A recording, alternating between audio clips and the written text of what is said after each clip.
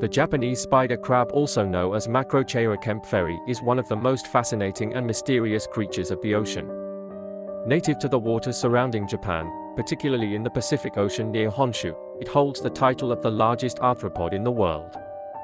With a leg span that can reach up to 12 feet and a weight of up to 42 pounds, it truly earns its name as the spider crab. Despite its imposing size, the crab's body is surprising in the marine ecosystem by recycling nutrients.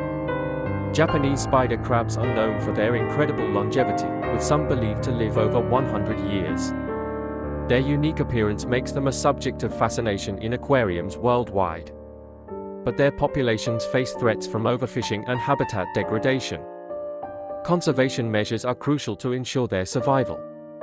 This awe-inspiring crustacean is a reminder of the diversity and wonder of marine life, proving that the ocean still holds countless secrets waiting to be explored.